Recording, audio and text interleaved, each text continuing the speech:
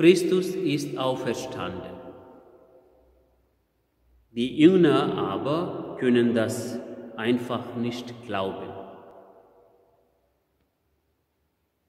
Es ist so ungewöhnlich und so unfassbar. Die Frauen haben die Tatsache von Jesu Auferstehung schon erzählt, aber das waren ja Frauen, das konnten die Apostel doch nicht ernst nehmen. Aber jetzt, jetzt erzählen auch die beiden Jünger, wie sie dem auferstandenen Herrn auf dem Weg nach Emmaus begegnet sind.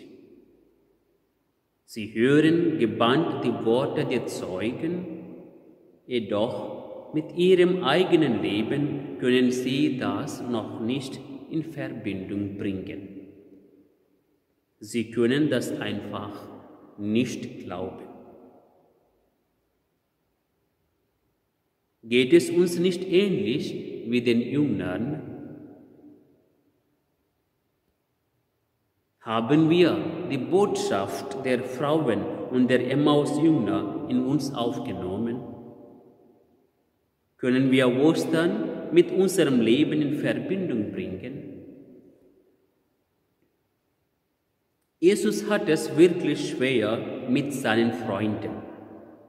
Fasst mich doch an, seht meine durchbohrten Hände und Füße, seht meine Wunden, kommt, esst mit mir, glaubt doch endlich, ich bin es wirklich. Vielleicht hat die Apostel das Stück gebratenes Fisches überzeugt, dass es der Herr ist, der zu ihnen spricht.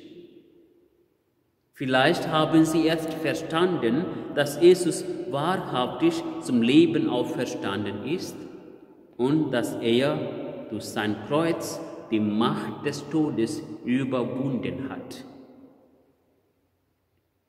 Für die Zeugen der Auferstehung ist Jesus spürbar, greifbar, fühlbar, erlebbar, sichtbar und so ist er ja auch für uns. Denn unser Glaube ist keine rein spirituelle Angelegenheit. Unser Glaube hat Menschliches. Unser Glaube ist Begegnung. Er ist Zusammensein, miteinander essen. Unser Glaube ist Leben in Fülle. Auch wir können Jesus körperlich erfahren in jedem Menschen, der einem Kranken die Hand hält und ihm einen guten Dienst erweist, der ein Kind umarmt, der die Tränen der Traurigen trocknet, der seinen Kindern die Angst nimmt und ihnen Mut macht.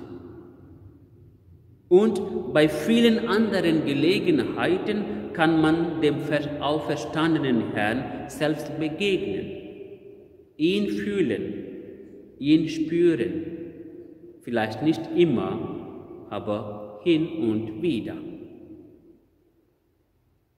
Liebe Mitchristen, wenn wir seine Nähe erfahren, werden wir Menschen, die zum Leben befreit sind. Dann können wir gar nicht anders, als unseren Glauben und unser Glück an andere weiterzugeben. Ja, Jesus lebt und wir sind Zeugen dafür. Amen.